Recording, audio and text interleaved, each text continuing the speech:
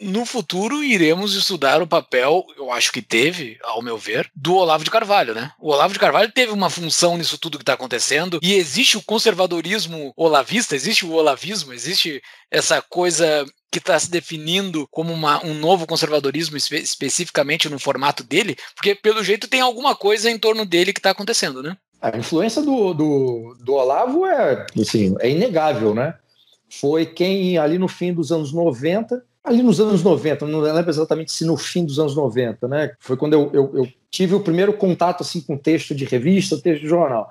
Mas foi quem ali nos anos 90 é, começou a conversar por meio dos seus textos com uma juventude que não sabia o que era direita né? ou que foi apresentado à direita da pior forma possível, ou seja, a direita são os militares, é o golpe militar de 64, a direita é isso. Então, toda uma tradição da direita brasileira e da direita internacional foi apresentada pelo Olavo.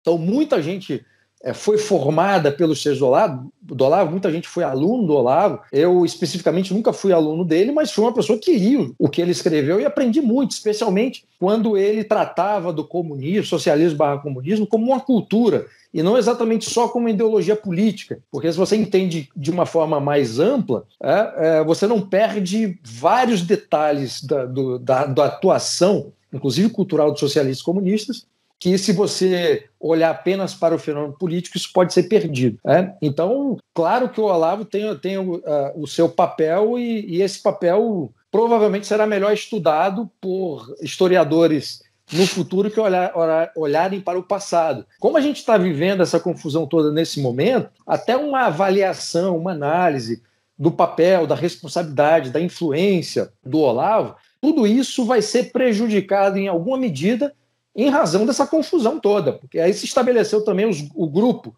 que odeia o Olavo e o grupo que é, defende o Olavo. E não é possível fazer análise tirando avaliações de representantes de grupos que se posicionam de forma apaixonada contra ou a favor.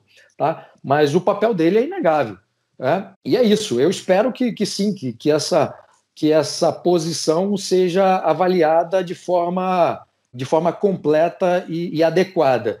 A outra pergunta que você fez é a coisa do olavismo ou do bolsonarismo. Também, eu acho que a gente só vai ter condições de analisar é, exatamente, primeiro, assim, o que, que é o olavismo, né? É o pessoal que gosta do Olavo, os alunos do Olavo que defendem o Olavo? É, será uma corrente de ideias ou um corpo de pensamentos criado pelo Olavo?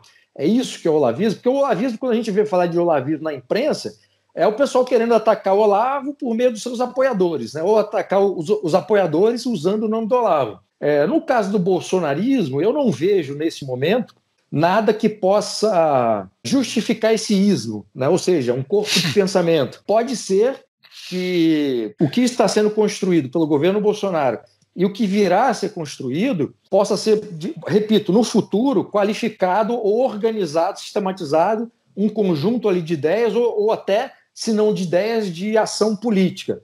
É, pode ser que isso aconteça. Mas, de qualquer forma, assim, não é conservadorismo. No caso do Olavo, o Olavo já falou várias vezes que não era conservador, era filósofo. Então a resposta foi dada por ele próprio.